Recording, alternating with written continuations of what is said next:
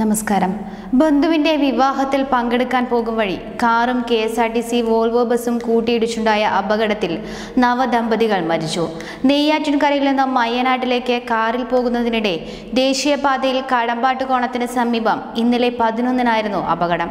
തിരുവനന്തപുരം നെയ്യാറ്റിൻകര ഊരൂട്ടുകാല തിരുവോണത്തിൽ ജനാർദ്ദനൻ നായരുടെ മകനും പൊതുമരാമത്ത് വകുപ്പ് കാഞ്ഞിരകുളം ഡിവിഷൻ ഓഫീസറുമായ രാഹുലും ഭാര്യ അഞ്ചൽ ബ്ലോക്ക് പഞ്ചായത്ത് ഓഫീസറുമായ സൗമ്യ എന്നിവരുമാണ് മരിച്ചത്. അച്ഛനും അമ്മയും വിടവാങ്ങിയത് തിരിച്ചറിയുവാനുള്ള പ്രായമെത്താത്ത കുഞ്ഞ് ഇഷാനിയെ കയ്യിലെടുത്ത് മുത്തശ്ശിയായ സരസ്വതി അമ്മ വിലപിക്കുമ്പോൾ ചുറ്റിലുമുണ്ടായിരുന്നവർ വിതുമ്പുന്നുണ്ടായിരുന്നു. എന്നാൽ ചലനമറ്റു കിടക്കുന്ന മാതാപിതാക്കളായ സൗമ്യയെയും രാഹുലിനെയും നോക്കി ഒന്നും അറിയാതെ ഇഷാനി ആൾക്കൂട്ടം കണ്ട് പകച്ച് പെട്ടിക്കുള്ളിൽ അച്ഛനും അമ്മയും കിടക്കുന്നത് നോക്കിയും അവളുടെ കളിചിരികൾ തുടരുകയായിരുന്നു. അച്ഛനും അമ്മയും എന്താണ് എഴുന്നേൽക്കാത്തത് എന്ന് മാത്രമായിരുന്നു അവളുടെ സംശയം.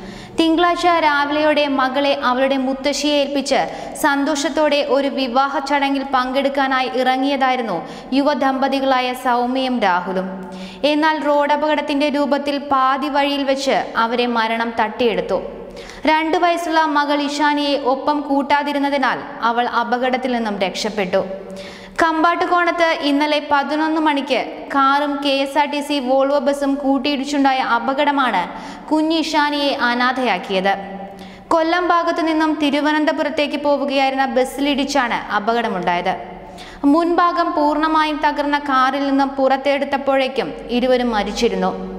പാരിപ്പള്ളി മെഡിക്കൽ കോളേജ് ആശുപത്രിയിൽ പോസ്റ്റ്മോർട്ടത്തിന് ശേഷം മൃതദേഹങ്ങൾ ബന്ധുക്കൾക്ക് വിട്ടുകൊടുത്തു. ആയൂർ ഇളമാട് തേവനൂർ സൗമ്യ നിവാസിൽ സരസ്വതി അമ്മയുടെയും പരേതനായ സുന്ദരൻ പിള്ളയുടെയും മകളാണ് സൗമ്യ. പാറശാല ബ്ലോക്ക് പഞ്ചായത്ത് ഓഫീസറായിരുന്ന സൗമ്യയ്ക്ക് മൂന്ന് മാസം മുൻപാണ് അഞ്ചലിലേക്ക് സ്ഥലമാറ്റം കിട്ടിയത്. ഇരുവരുടെയും സംസ്കാരം ഇന്ന് പത്തിന് സൗമ്യയുടെ അയൂരിലെ വീട്ടിൽ നടക്കും. പാറശാല ബ്ലോക്ക് പഞ്ചായത്ത് ഓഫീസറായിരുന്ന സൗമ്യയ്ക്ക് മൂന്ന് മാസം മുൻപാണ് അഞ്ചലിലേക്ക് സ്ഥലം മാറ്റം കിട്ടിയത്. ഇരുവരുടെയും സംസ്കാരം ഇന്ന് സൗമ്യയുടെ ആയൂരിലെ വീട്ടിൽ നടക്കും mission India mobile T Kochi Subscribe to my channel and also press this bell icon.